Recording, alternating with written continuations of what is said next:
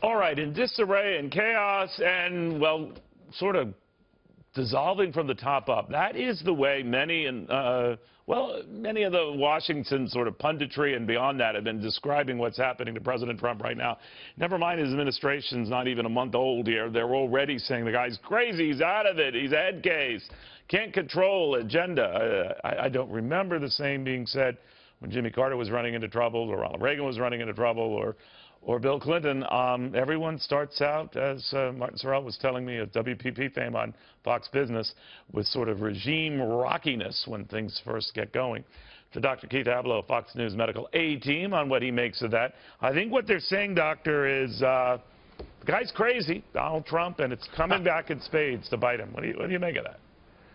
Crazy like a fox, maybe. No, listen, Neil, in fact, I wrote a blog for the opinion section today at foxnews.com saying exactly the opposite. Haven't examined the man. Personally, I haven't. But listen, you can't run a multinational corporation, enjoy the respect and love of your children and your wife, and recruit to your administration, which, by the way, you happen to be occupying because you defeated 16 Republican primary opponents and the heir apparent to a Democratic administration, and then be called unbalanced. Uh, he's, he's quite balanced. Uh, he's achieving things no one else has achieved. Now, that doesn't mean he's usual. He can be extraordinary, and he can have a very different approach.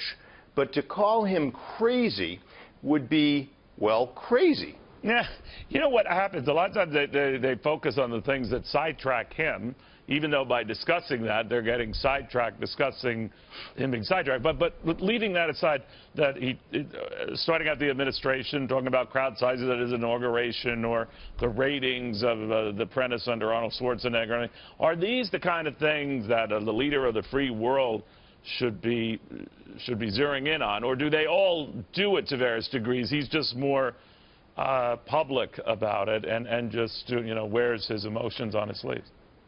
You know, number one, I think he may wear his emotions more on his sleeve. Number two, I'm not sure that he doesn't do some of these things precisely in order to disassemble and sort of to distract. After all, the media falls all over themselves for a one-liner from Donald Trump, cover it incessantly, while he goes about his business, business instituting policies that are transformational for America and that are going to bring America back. So some of it might be cat and mouse, and there are a lot of mice out there who are willing to fall for anything Donald Trump puts out there that looks like a red herring. They'll take any hook. All right. Now, one of the things I noticed, and it, I see this on the left and the right, but I think the media is much more thin-skinned than any president. Um, and, and I, I, I, by that, I would just say that, you know, Will wince at Fox when it was President Obama ignoring us and treating us like, you know what, the, many at, uh, let's say, CNN get annoyed when they get ignored, and then, then all of a sudden they don't like the, the same treatment.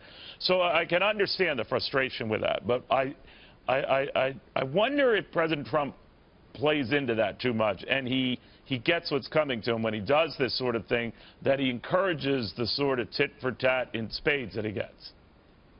Well, look, you know, I think it's his game. You know, Muhammad Ali used to do the rope-a-dope, right, right? right, and he uh, defeated boxers that way. I think there's a little of that going on.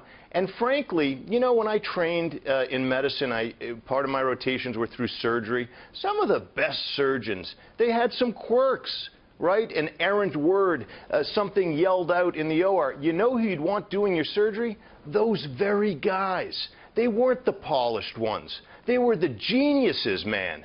And we've got a genius in the Oval Office, and if we think he's going to subscribe entirely to protocol and be flawless and polished, think again. But, but they man, worry. Here's I what want I that hear, surgeon. doctor, from some market guys, and again, they could be wrong, because talk about some you know, self-absorbed people, uh, they, they are convinced that if he's not careful, the president, these distractions are going to get in the way, and they're not going to get anything that they want, nor what he says they're going to give him. Well, you know, uh, what I would say is recent history being something of a guide, I would be loath to judge the man uh, to have deficits that don't pay off, right? So, you know, through all of this, people have said, no, it's, it's impossible. He can't possibly win the presidency. Look what he said. Well, you're right. Well, look, he's, he's president. And my guess is that at a certain point we'll come to embrace his idiosyncrasies because they will work for all of us and we'll all have some successes uh, to boast about.